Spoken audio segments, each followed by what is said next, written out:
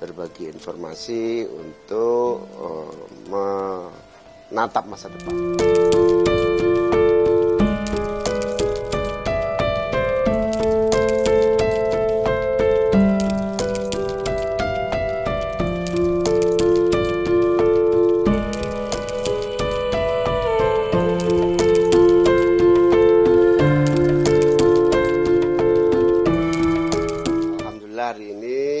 Kedatangan tamu-tamu orang-orang hebat.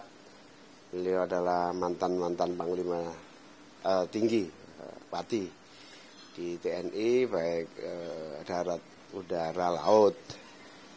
Mantan Danjen Kopassus, mantan Danjen Marinir, mantan uh, BIN. Pertemuan ini silaturahmi, tidak ada agenda khusus, tapi intinya kita berbagi informasi berbagi informasi untuk uh, menatap masa depan.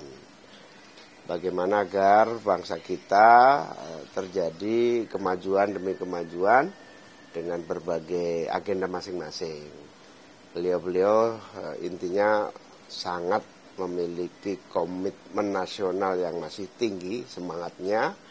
Meskipun beliau-beliau sudah purnawirawan tetapi beliau-beliau menitipkan kepada saya untuk uh, agenda misalnya persatuan NKRI, ideologi bangsa, itulah sehingga masukan-masukan beliau akan menjadi model kita untuk bekerja lebih lanjut di pilpres yang akan datang.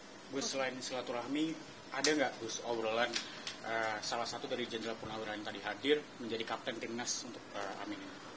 Sampai hari ini belum belum kita bahas ya dalam proses pembahasan dan masukan hari ini lebih bersifat membriefing saya untuk memberikan masukan-masukan bagi langkah-langkah saya.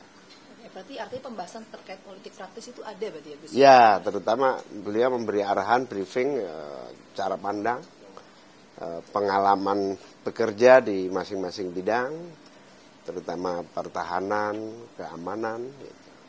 Gus, uh, tadi dari enam itu siapa aja sih Gus? Tadi yang kelihatan kan uh, Pak Isutioso gitu. Isutioso, Pak Fakhrul Rozi, Pak Hartomo, mantan Danjen Marinir, kemudian Pak uh, mantan Danjen Kopassus, kemudian Pak Sauki, uh, mantan Danjen Marinir.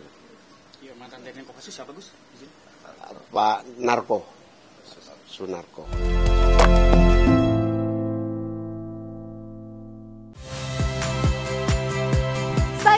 Friska Clarissa. Saksikan program-program Kompas TV melalui siaran digital, pay TV, dan media streaming lainnya. Kompas TV, independen, terpercaya.